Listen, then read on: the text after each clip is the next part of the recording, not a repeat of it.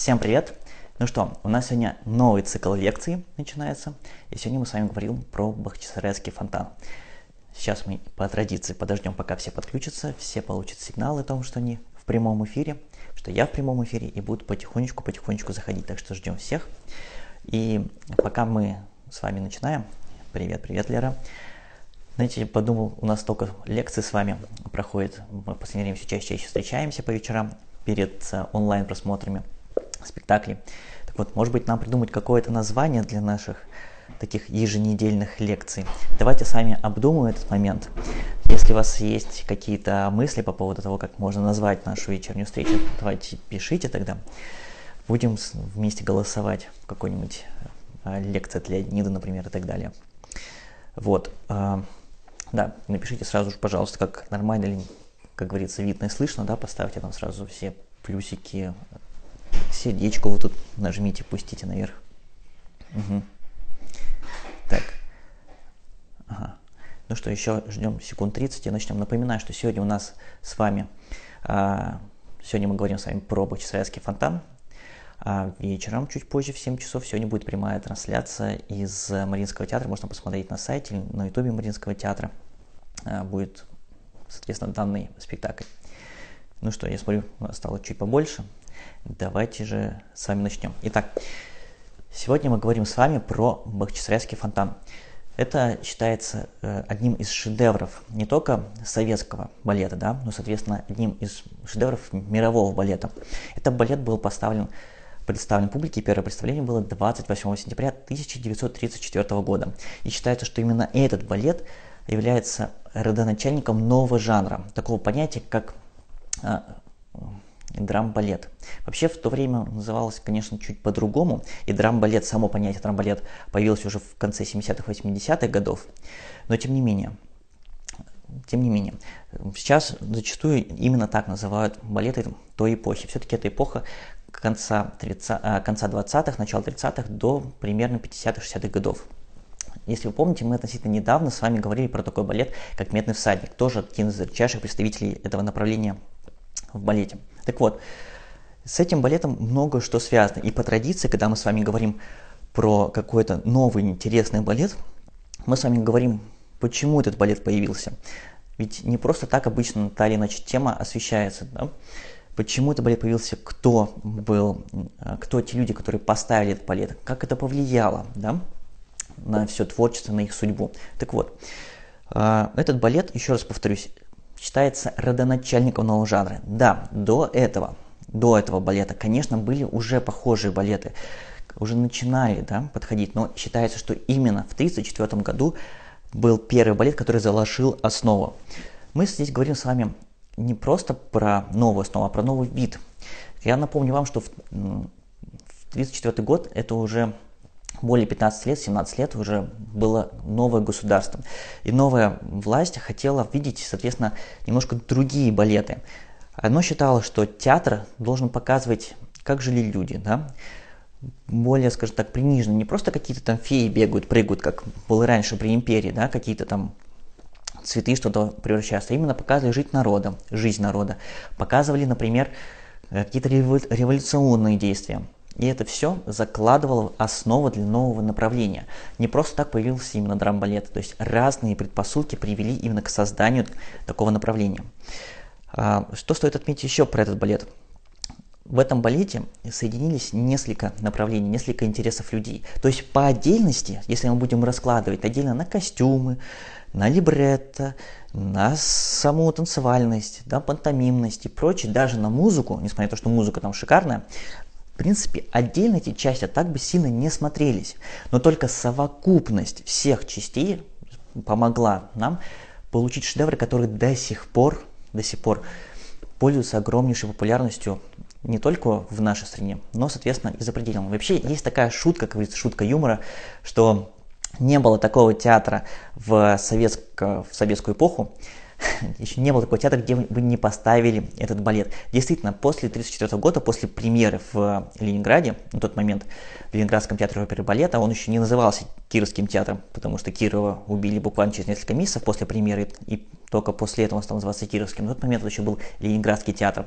Буквально через несколько месяцев, может чуть больше, Сразу же появилась постановка, можно сказать, чуть больше, потому что в 1936 году, через два года, появилась постановка в театре Станиславского в Москве, потом в Большом театре, и дальше, дальше по миру она стала колесить по всему Советскому Союзу, по ближайшим странам, по друзьям Советского Союза, даже в Египте и даже в Японии ставили. То есть эта постановка была обширная. Да, потом уже не только сам Захаров ставил, но уже и другие балетмейстеры переносили, но тем не менее.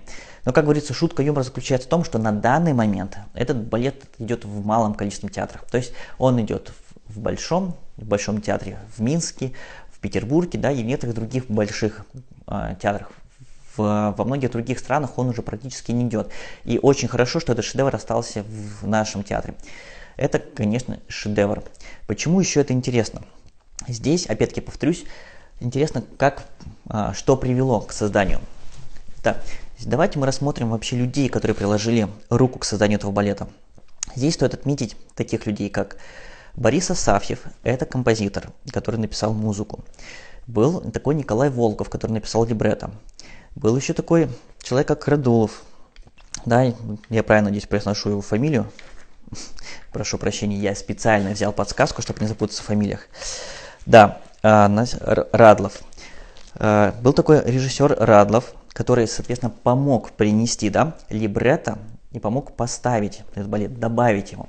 Соответственно, Захаров, который является балетмейстером э, этого произведения. Еще стоит упомянуть дирижера. Заметьте, раньше мы дирижеров отдельно не упоминали. Но здесь стоит обратить внимание на дирижера, потому что дирижером был Евгений Мравинский.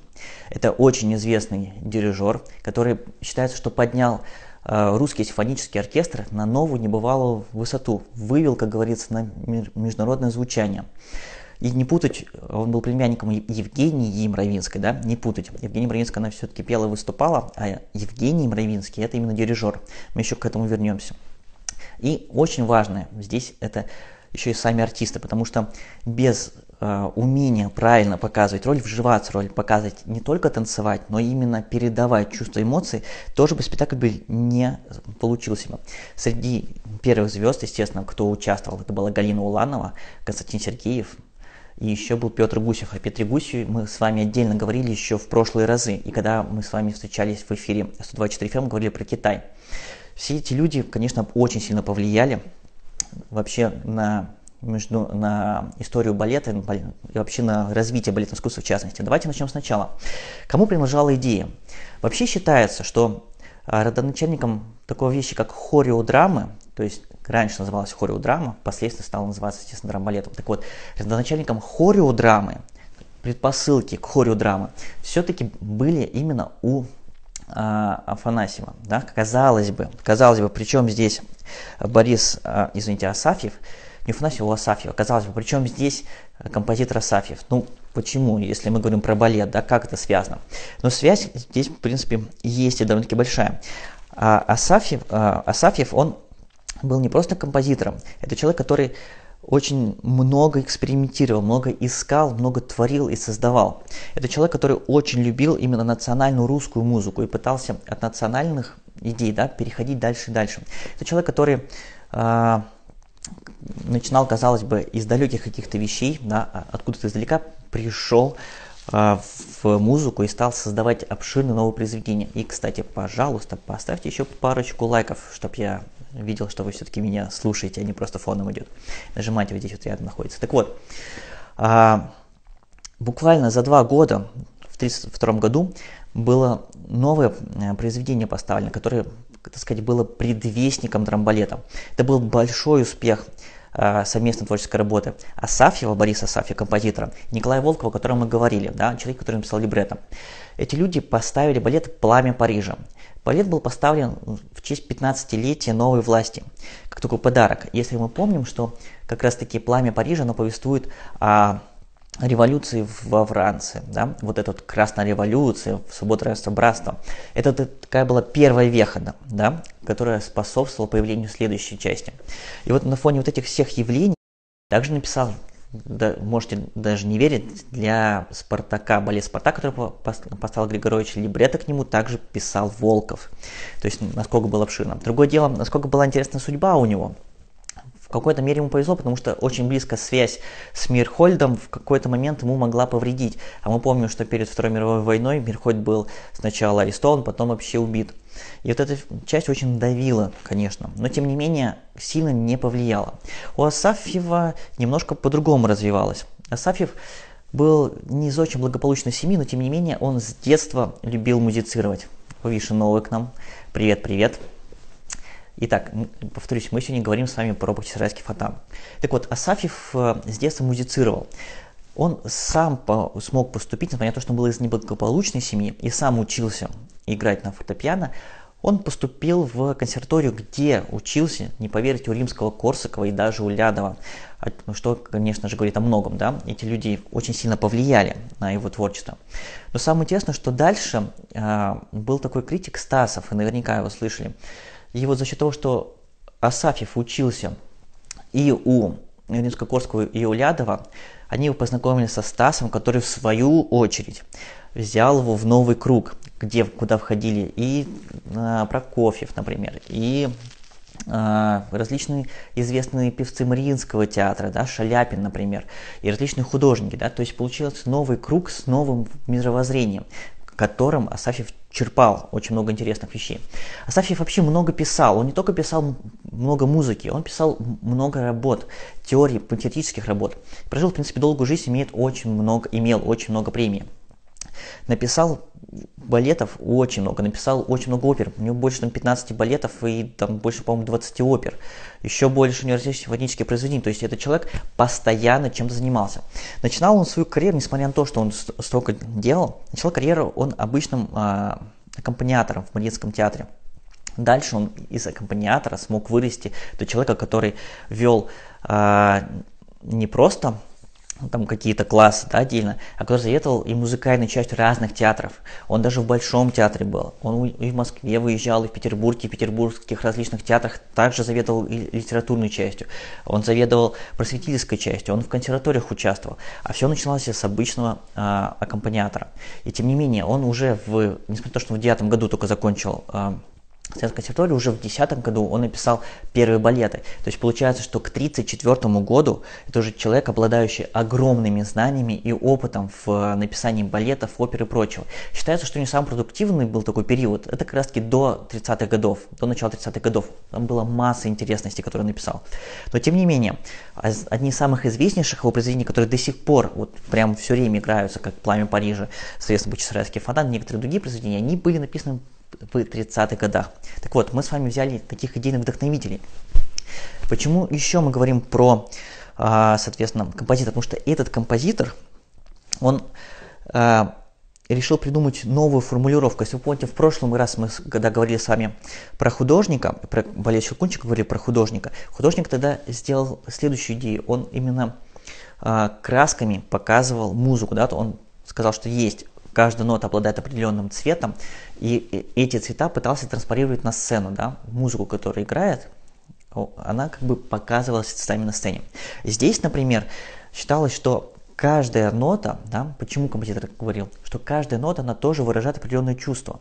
И это чувство нужно также перенести. И получается, что мы с вами немножко уходили от танц движений и переходили именно к пантомиме. Причем пантомима была не классическая эпоха Пятипа, когда был конкретный жест, там, например, там, я клянусь, сердце, там, да, палец, там, и все остальное, там, люблю, клянусь, женюсь, там, и прочие, нет, и другие, да, то есть был определенный набор.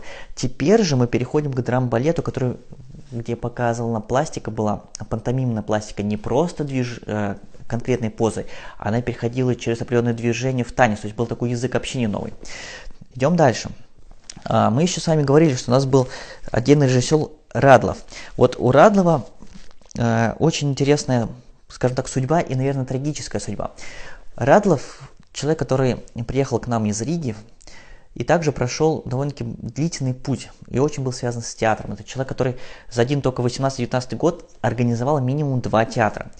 очень много работал в различных театральных сферах, и, извините, не театральных, а учебно-театральных сферах. То есть он не преподавал, он много вытащил молодежи, он много открывал именно а, театров, связанных, как бы правильно сказать, новое направление театра, да, мы помним, что именно в это время у нас начинается новая эпоха в театральном, да, у нас появляется Станиславский, например, у нас есть Мирхольд, и вот Радлов, он очень отталкивался от Мирхольда, он открывал, например, новый молодежный театр, очень известно было, а, был театр того времени, например, новый экспериментальный театр он открывал, а, там, театр Ленсовета, например, и прочее. То есть много-много вещей он сделал. Также, как, что удивительно, несмотря на то, что, казалось бы, это человек, связанный с драмтеатром, очень много он переносил он был связан также и с балетными театрами. Он также работал, даже был художественным руководителем одно время там, Ленинградского театра оперы балета, Малого театра и так далее. И что стоит один отнести? Не просто так была выбрана, э, выбрана роль Захарова на главного балетмейстера. Захаров несмотря на то, что это молодой человек и балет «Бахчисарский фонтан» – это первый его большой балет. Представляете, первый большой балет, такой успех. Это все-таки новая личность. То есть до этого мы с вами говорили про Волкова, про Асафьева и про главного режиссера Радулова, э, извините, Радлова. И это люди, которые уже имели большой багаж, большой багаж знаний, уже имели большое имя и вес, то Захаров – это как раз-таки новичок, это молодежь, это абсолютно новое явление – так вот, почему? Почему это интересно? Он не просто так был выбран. Это был воспитанник, причем стоит отметить то, что воспитанник именно Радлова.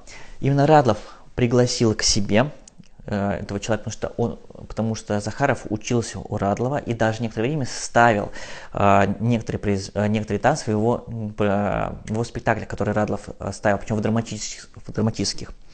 Естественно, сначала Захаров ставил балеты э, ставил танцы только в операх и маленьких таких студиях или там, например, в драматических э, различных театрах.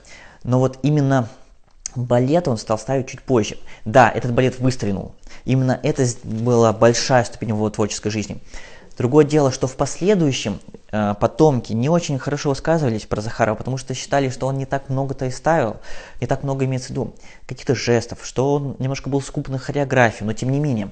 Этот человек сделал новую веху, сделал новый балет. Он сделал драм-балет, он заложил основу.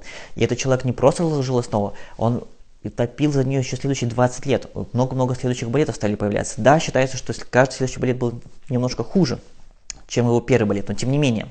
Это была основа. Он поставил балет практически по всему миру, ездил, ставил этот балет. Он даже потом поехал в большом-большом э, театре не просто был главным балетмейстером Большого театра, руководителем Большого театра. Он еще преподавал в академии. Самое интересное, что он также много теоретической базы давал, много писал работ, а, много учил новых балетмейстеров. Хотя, конечно же, уже балетмейстеры шли дальше, хотели танц-симфонию ставить, например, да, к симфоническим больше произведениям, к новому виду жанра тяготели, но тем не менее а, этот человек, Захаров, все равно учил именно э, драмбалету, очень сильно за нее топил. Самое интересное, что э, свое произведение, э, Бахчисарский фонтан, свое первое произведение, и драмбалет э, Захаров подчерпнул из записок Навера. Как раз таки к 1934 году в России были опубликованы знаменитые записки о балете, да, письма о балете Навера. А считается, что Навер как один из основоположников этого жанра был. Он э, очень вдохновился, Захаров. Также считается, что работа некоторых, э, некоторых балетмейстеров начала 20 века также повлияли. Соответственно, да, тогда мы помним, с вами появился русские сезоны Дягилева, и, например, работает Фокина, также, может быть, издалека, но относились уже к драмбалету, они также могли влиять на творчество Захарова. Так потом, что удивительно, почему я вам упомянул письма о танце, потому что чуть позже, в 70-х годах, а, будет написано Захаров напишет такое произведение, э, сейчас я вам даже скажу, оно будет называться, секундочку, э, тоже письма, письма о танце он напишет. То есть есть такая отсылка небольшая именно к Наверу, то есть у Навера есть письма о танцах, и у Захарова будет а записки о танцах. Да, то есть тоже такая предпосылка интересная, насколько он себя тоже ставил. Так вот, Идем чуть дальше. Теперь мы с вами поговорили уже о четырех создателей. Теперь стоит сказать отдельно про Моровинского. Почему нам нужен дирижер здесь? Понимаете, обычно дирижеры делятся на два вида в, в оперном театре. На оперных, соответственно, которые дирижируют оперную, и тех, кто дирижирует балеты. Очень мало дирижеров, которые дирижируют и оперу, и балет. Это все-таки надо уметь, надо прочувствовать. Бровинский в этом плане а, был исключением. Почему исключением? Не потому, что он любил оперу дирижировать, корейский оперу он редко дирижировал, а исключение в том плане, что он дирижировал хорошо балеты. Конечно, больше э, дирижеры тяготятся именно к оперным произведениям, к балетным, но тем не менее, вот у Моровинского был дар. С чем еще это связано? Карьера Моровинского началась Естественно, недавно мы говорим, что в 1934 году была балет, а, премьера балета, а карьера Мравинского началась с 20-х годов, то есть буквально 14 лет человек, так сказать, был в теме. Так вот, в 20-х годах э, Маривинский хотел поступить в консерваторию, и у него не получилось. То есть это одна, один из тех примеров, когда человек, ставший в последующем, в последующем таким гениальным, да, очень известной мировой личностью, изначально не был принят сообществом музыкальным. Так вот, сначала не был принят в консерваторию, но чтобы не терять время, поступил Ленинградскую академию, да, тогда еще она не была Вагановская, но Ленинградская хореографическая академия, и там э, работал аккомпаниатором. Также чуть позже поступил и в Мариинский театр, и также работал аккомпаниатором. То есть начинал так же, как, соответственно, Асафьев, извините, я, скорее всего, опять напутал, да, как Борис Асафьев, как композитор, начинал именно с аккомпанемента, был аккомпаниатором. В дальнейшем, конечно, много учился, и в филармонии работал, также проходил различные курсы сделал себе большое имя. Но то, что он начинал как раз-таки с академии, он играл молодым ребятам, которые учились в академии, то есть он проходил различные репетиции балетные, как ставится класс, он прекрасно знал. В дальнейшем он вообще занимался литературной частью, музыкальной частью в академии, отвечал за музыку. То есть этот человек почти 14 лет воспитывался на балетной хореографии, что очень, соответственно, помогло что очень ему, соответственно, помогло правильно сделать спектакль. Да? Не каждый может, еще раз повторюсь, отыграть правильный спектакль, поставить те самые ноты. Все-таки, как вы помните, когда мы с вами говорили про Ленинградскую симфонию, знаменитый балет э, Шостаковича, Шостакович тоже изначально хотел, чтобы именно Мравинский э, оркестровал и играл э, Ленинградскую симфонию. Но тогда Мравинский был э, в Новосибирске на, соответственно, в эвакуации. Соответственно, интересно еще, что сам Шостакович говорил, что Мравинский очень-очень сильно подходит, очень правильно подходит к изучению нового материала. То есть он скрупулезно каждую деталь отрабатывает, изучает, переспрашивает. Тогда Шостакович сказал, что только благодаря этому он еще сильнее, Шостакович еще сильнее стал ценить свою работу, да, еще больше уделять внимание маленьким деталям, потому что каждая деталь в итоге очень сильно э, изменяет саму, саму слух, да, как звучит симфонический оркестр. Так вот, мы знаем с вами уже таких представителей. Ну и, соответственно, поговорим с вами про Уланова Сергеева и Петра Гусева. Сама Уланова говорила, что только Мария, а Уланова играла роль Марии здесь. И из Заремы, да, давайте уточним. Да. А, повлияла на ее творчество каждый раз, начиная с премьеры, Уланова пере... не то что переигрывала, она по-новому открывала именно этого персонажа. Каждый раз она переживала эту роль. Вообще, а, изначально не было настолько глубоко прописаны персонажи в этом балете. Это добавил как раз-таки Захаров и Радлов. Это именно их затея. Так вот, мы с вами описали предысторию, да, вот почему появился этот балет. Мы с вами описали, кто повлиял. Давайте вообще с вами посмотрим, что творилось в тот момент. Вообще есть такая, такое мнение, что именно с балета по-чесарски фото начинается вот это вот пушкиниана на советской сцене. Насколько это так, ну, сложно сказать, потому что э, все-таки Пушкина ставили до этого. И был ли новый Бахчисарайский фонтан, тоже сложно сказать. Считается, конечно, если мы откроем историю, что Бахчисарайский фонтан это единственный балет, никогда такой балет раньше не ставили, тем более, естественно, в жан, жанре драм-балета. Это действительно так. Но если порыться в истории, то можно найти, что в 30-х годах 19 века, 30-40-е годы, была попытка Фокина, ой, извините, не Фокина, а Тальони, причем э, Тальони отца, не Марии Тальони, а отца Тальони, поставить некий похожий балет. Скорее всего, он немножко по-другому назывался, но тоже использовать пушкинские мотивы, да, Бахчисарайские фонтаны Кавказского пленника вот, на слияние этих двух произведений. Далее считается, что еще одна гастрольная труппа в Воронеже ставила похожий балет, даже с похожим названием. Потом, дальше, если мы пойдем, то уже на стыке 19-20 века э, Нижинский, причем Фома Нижинский, не стоит путь с, Ваславом Брониславой Нижинский, это дети. Именно отец э, Фома Нижинский, он ставил много балетов, и один из балетов был тоже Бахчисарайский фонтан. Другое дело, что таких больших упоминаний про постановки Фомы нету. Их можно встретить, если вы читали э, воспоминания Бронислава Нижински. Вот у нее есть воспоминания о том, что они приходили на такой балет. Но вот таких больших сведений не осталось. Вообще Пушкина довольно-таки много ставили. Того же «Кавказского пленника», например. Очень много опер поставили. Но если так грубо смотреть, то до 1934 года практически 30 лет постановок Пушкина на сцене не было. Были только в основном или возобновления, или оперные. Но как такого большого целостного э, спектакля, как «Бахчисарский фонтан», не было. То есть в этом плане действительно новое произведение отдельное. Что стоит еще интересно отметить?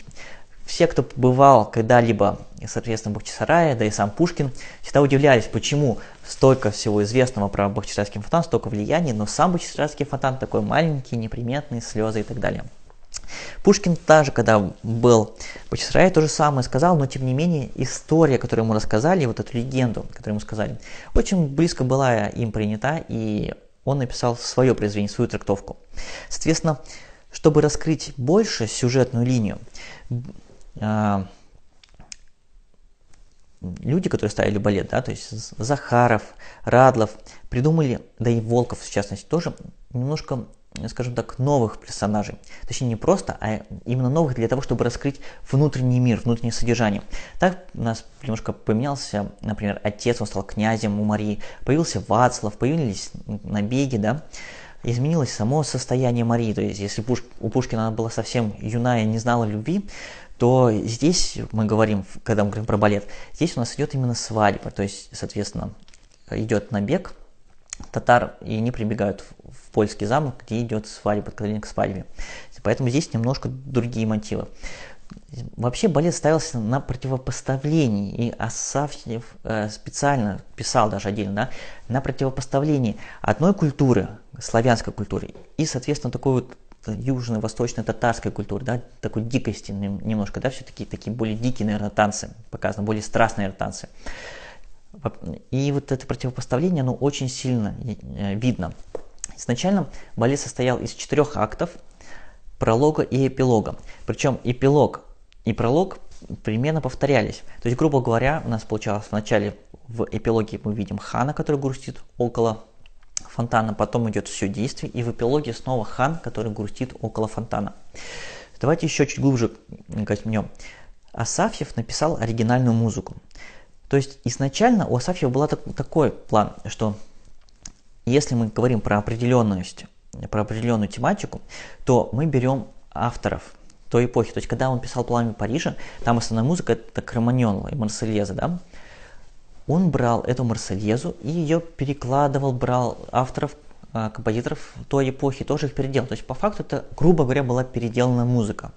Здесь же Асафьев понял, что нету тех композиторов, то есть дублинковской эпохи как таковой тогда не было в доступе. И она, может, не особо звучала. И пришлось Асафьеву абсолютно новую взять музыку. То есть Асафьев здесь написал новую музыку, но он отталкивался именно от природы. Он писал, он пытался показать ту музыку, тех авторов, которые были именно тогда.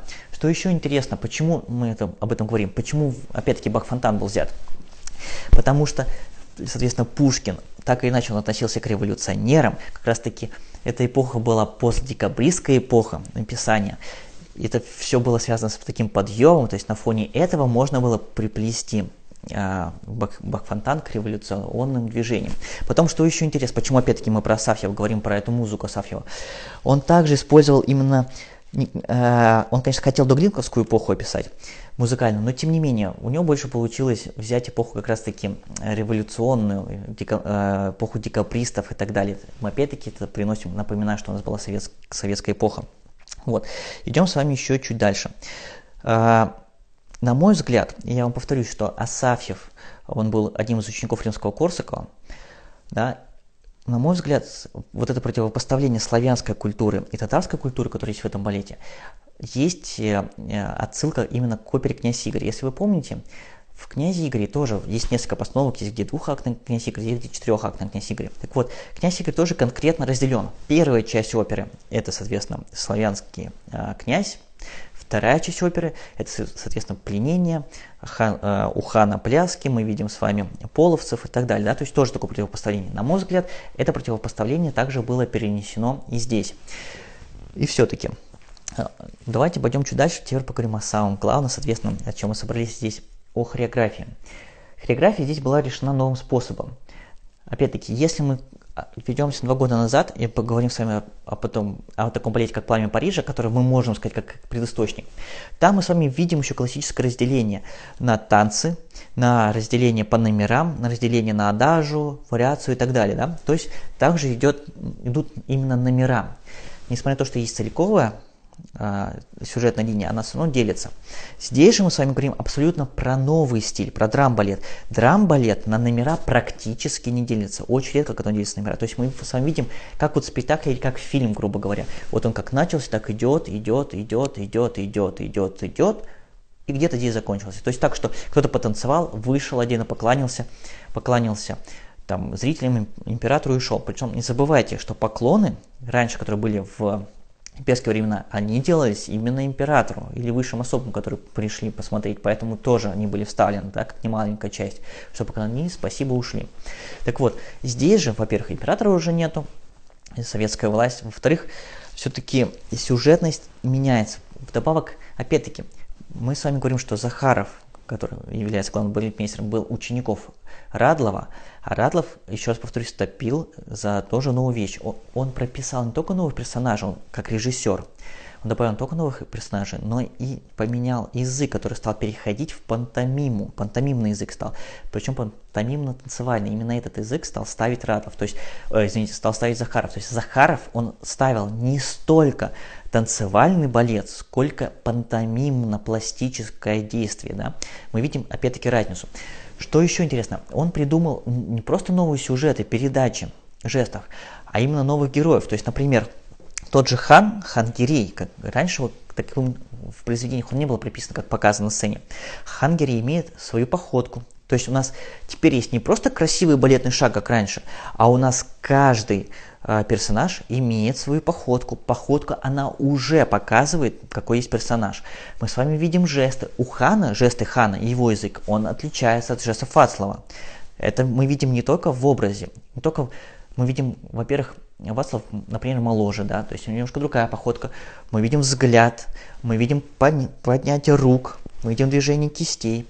Также у нас каждый жест, еще раз повторюсь, танцевальный. То есть я не просто перешел, встал, я перешел сюда, а я через танец перешел, показал сюда, через танец перешел дальше. У нас теперь каждый жест, каждое движение танца что-то значит. Вообще, в принципе, после, после трамбалета такая вещь, как «а что это означает?» Вот этот вопрос, он практически стал отпадать. То есть человек стал больше понимать. Мы практически без программки можем прийти и понять, о чем говорят, несмотря на то, что люди танцуют. В этом плане, конечно, это огромный шаг вперед. Вообще, еще раз повторюсь, отсылка к советской власти. Почему это еще нужно было? у нас появляется такая тяжесть. То есть, если раньше, несмотря на то, что были и большие помпезные балеты, там та же самая «Спящая красавица», у нас таких скажем так, более бытовых вещей на сцене практически не присутствует. С приходом советской власти у нас появляются более тяжелые костюмы, более тяжелая обувь, у нас появляется больше характерной обуви. Хангери ходит у нас откровенно в, в характерной обуви в носах, да, в таких задранных. У нас появляются там, например, комоды целые, причем не просто какие-то облегченные, а нормальные, хорошие комоды. Там стоит если какая-то, какой-то стул, то это прям стул, он там чуть ли не полностью вырезанный, да. То есть у нас появляется такая полная глубокая стилизация. Интересно, еще в первом акте была показана, а, соответственно, такая вольность польской знати. Мы видим с вами такие костюмы, как они танцуют, краковя, как они танцуют, переходы, да, такая, может, голубая классика. У нас Васлов показан именно классическим голубым таким танцором, причем голубым, если в хорошем плане. Вот. Хан у нас показан абсолютным антиподом. Интересно, что таких вещей, как, например, э, танцев, да, вот этих татарских танцев, и, соответственно, Нурали, а, одного из главнокомандующих Гирея, их не было в произведении раньше прописано. И они отдельно были специально прописаны и созданы именно для этого балета. Соответственно, что мы с вами видим? А, что получилось снова? У нас здесь совпали различные жанры, э, у нас здесь совпали различные мысли. Вот люди, которые философствовали насчет появления рамбалета, они здесь совпали. Взяли хорошего нового молодого хореографа, которого можно было в определенном, скажем так, а, в определенный момент манипулировать, да, навели ему это все, и создался новый, еще раз повторюсь, пластический пантомимный балет. Да, у нас есть несколько вариаций здесь, у нас есть даже, но по факту в основном здесь это переходы, здесь очень сильно актерское мастерство, то есть без умения актерского мастерства этот спектакль невозможно было сделать. И если бы Сергеев, Уланова и Гусев не умели бы правильно показывать, не умели правильно переживать, спектакль бы просто не состоялся. Еще раз повторюсь, это очень сильно сыграло на карьере. Вообще, после этого спектакля стало считаться, что любой а, артист балета должен быть не просто артистом, а еще и актером. Актерское мастерство стало одним из важных инструментов для того времени. Другое дело, что это стало идти к следующему, да, к некой деградации танца, потому что уже в 40-х, 50-х годах многие стали писать, что люди на сцене уже не столько танцуют, сколько просто ходят, машут руками, и вот мы с вами видим просто такие переходы, и хей, руки подняли, хей, присели, и вроде как все народные такие танцы куда-то разошлись. Еще раз повторюсь, да, это, скажем так, последующее, к чему привело к одной из э, ветвей, да, но и были и позитивные моменты. Теперь у нас все следующие балеты, даже балеты того же Григоровича, балеты Боярчикова и всех остальных, они также отталкивались именно от драм балета, поставленного в 1934 году, вот к этим эмоциям, к этим чувствам, да, которые, соответственно, были заложены. Еще раз вам советую все-таки посмотреть этот балет. Балет очень красочный, он длинный, шикарная музыка, очень интересно переработанная либретто, специально, повторюсь, дописаны новые персонажи. Эти персонажи созданы для того, чтобы подчерпнуть внутренний мир того или иного героя, почему он так делает. Поэтому стоит сегодня, если у вас есть возможность, зайти посмотреть на сайте Мариинского театра этот балет. Вообще стоит на него сходить. Повторюсь, балет может быть и длинный, но очень интересный. Шикарные танцы польские в первом акте, шикарные танцы, э, соответственно, татарские в последнем.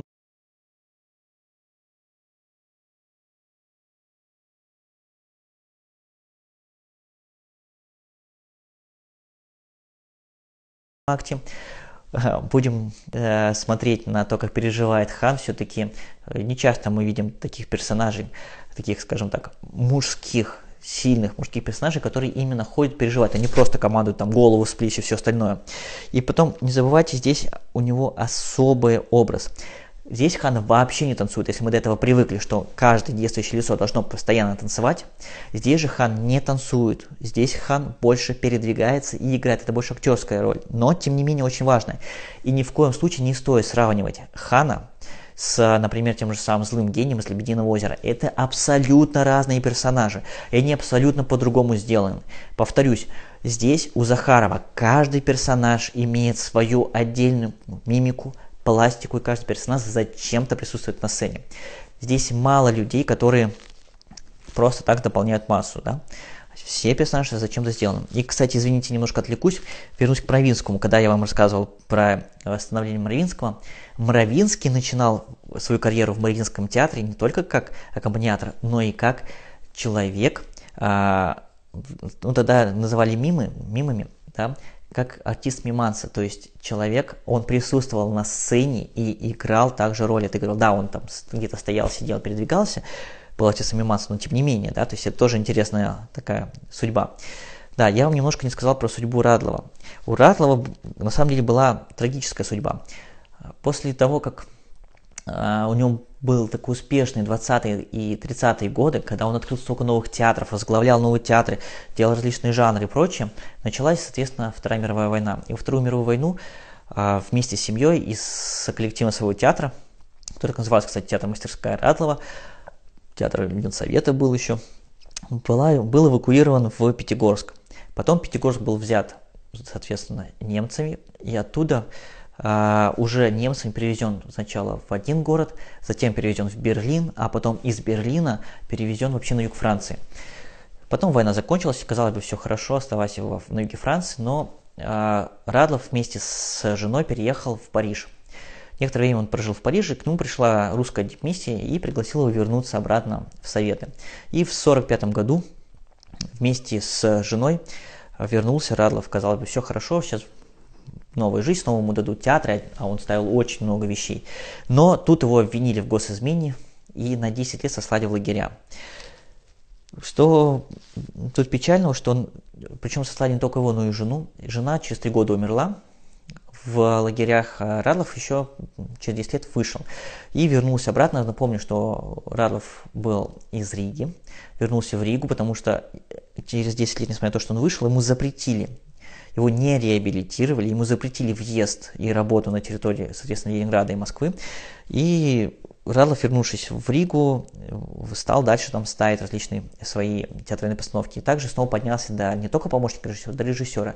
Еще потом через три года с него сняли уже этот запрет и реабилитировали, но тем не менее уже столько времени прошло. И еще через пару лет он умер. Поэтому немножко трагическая судьба, но зато такая интересная картина, да, такое приобретение судеб у людей. Мы с вами заметили, сколько раз, разных людей принимали участие в постановке этого балета, вообще в идее создания этого балета. И вообще, как у них потом сложилась эта судьба. Хочу вам заметить, что за этот балет, вообще за балет этих эпох, и Мравинский, и, соответственно, Захаров, и остальные получили очень много госнаград, госпремий, и получили очень, скажем так, большую популярность не только в России, но и за рубежом. Ну что ж, я надеюсь, вам была интересна моя лекция. Если у вас сейчас остались вопросы, пожалуйста, напишите. Да? А, я, надеюсь, успею ответить. Вот, лайки пошли, наконец-таки спасибо вам большое. Поставьте плюсики, что вы меня слышали. Еще, если есть вопрос, напишите сейчас. Вот, и, соответственно, сейчас самая интересная тема – это, а, соответственно, донатики. Если есть у вас э, желание и возможность, будем рады принимать донаты. И самый главный еще вопрос, который я задал в самом-самом начале. Алена, спасибо. А, в самом начале. Мы с вами очень часто сейчас встречаемся, у нас, э, несмотря на самоизоляцию, много балетов онлайн идет, и мы проводим новые лекции. Давайте, может, с вами придумаем название для э, моих вечерних лекций и будем как-то наш кружочек называть, там, вечернюю лекцию Леонида, например. Пишите свои названия в, мне, пожалуйста, в сообщении, мы обдумаем и будем как-нибудь называть их. Лера, спасибо за лайк. Это раз. А потом, если у вас есть желание обсудить еще какой-нибудь балет, да, впереди у нас много прямых трансляций, или, может быть, отдельный балет вы хотите, чтобы я вам рассказал, также, пожалуйста, пишите. Вот. А, я вам отвечу на все вопросы. Напоминаю, что сегодня в 19 часов на сайте Мариинского театра будет прямая трансляция. Мне почему-то сообщение не... А вот, надо же, смотрите, удалось написать сообщение. Я напишу один номер, надеюсь, он вам понравится. Так, 5, 3, 6. Вы мне, пожалуйста, напишите сейчас сообщение, если вы еще не ушли. Так. Вот, вижу лайки. Лайки ставьте. Так. Так. Угу. И последний. Вот сюда. Отлично. Вот, отправляю вам сообщение на всякий случай.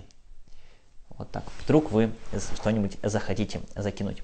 Еще раз спасибо большое. Смотрю, что вам, видимо, было все понятно, раз нету никаких вопросов. Если остались, пишите мне в личные сообщения. А, эфир еще продлится 24 часа, сможете посмотреть. Ну и на другие вопросы будем отвечать. На всем я вас целую. Спасибо большое, что были со мной. До новых встреч. Пока-пока.